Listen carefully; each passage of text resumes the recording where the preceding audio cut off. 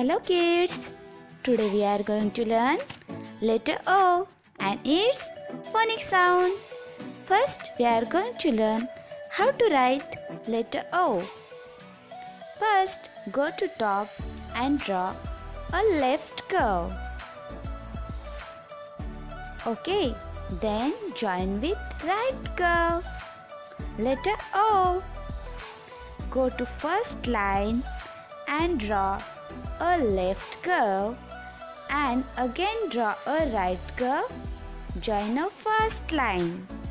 Letter O. O says O. O says O. O says O. Let's enjoy the song of letter O. Here comes the letter O. O is for orange. O, O, orange. O is for out. Ah, ah, out. O is for open.